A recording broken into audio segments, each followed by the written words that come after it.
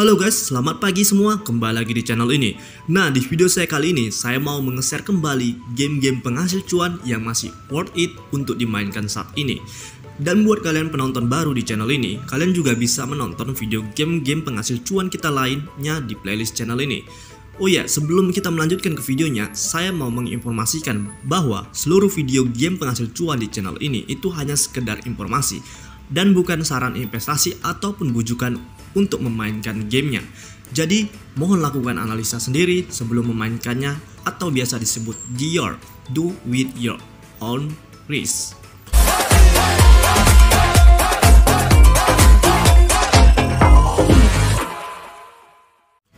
Oke, untuk di kesempatan kali ini, saya mau mereview game penghasil cuan yang sudah banyak dimainkan orang dan memiliki reputasi yang bagus.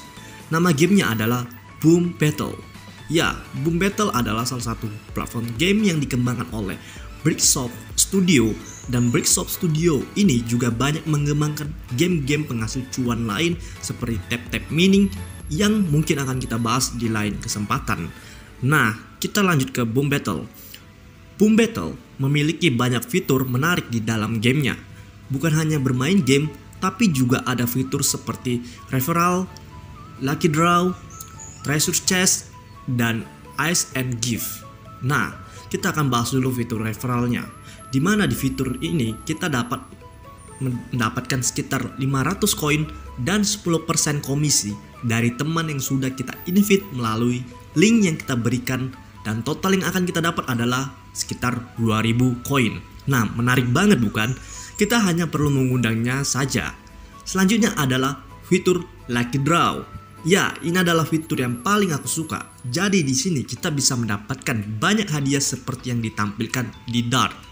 Dan untuk sekali putar dartnya, kita hanya perlu menonton satu kali iklan. Dan tersedia 15 kali iklan, tontonan iklan. Dan fitur berikutnya adalah treasure chest. Ini seperti membuka harta karun dan untuk membukanya sama dengan seperti lucky draw. Kalian hanya perlu menonton iklan untuk dapat membukanya dan fitur yang terakhir adalah Ice and Give. Nah, di sini kita hanya mengetap tap bagian ice sehingga ice-nya itu dapat mencair dan kita dapat membuka gift-nya yang ada di dalam ice tersebut. Untuk dapat menambah speed dalam tabnya, kalian hanya cukup menonton iklannya saja. Nah, gampang banget kan? Nah, dari beberapa fitur yang sudah saya jelaskan, hadiah yang dapat yang kita dapatkan dari fitur tersebut berupa tiket dan koin. Apa sih gunanya tiket dan koin tersebut? Oke, di sini akan saya jelaskan. Tiket tersebut kita gunakan untuk bermain game yang tersedia. Dan setelah bermain game-game yang tersedia, kita akan mendapatkan koinnya, sehingga koin tersebutlah yang akan dapat kita withdraw. Nah, itu dia fungsi tiketnya. Dan buat game-game yang game-game yang tersedia, kita akan mainkannya dan mereview di video berikutnya ya. Oke guys, cukup video kita kali ini. Jika ada yang ingin ditanyakan kembali ataupun kurang jelas, kalian bisa komen di bawah. Dan jangan untuk jangan lupa untuk tinggalkan like dan share video ini ke teman-teman kalian ya. Saya Lesluku, sampai jumpa di lain kesempatan dan sampai jumpa di video berikutnya. Terima kasih.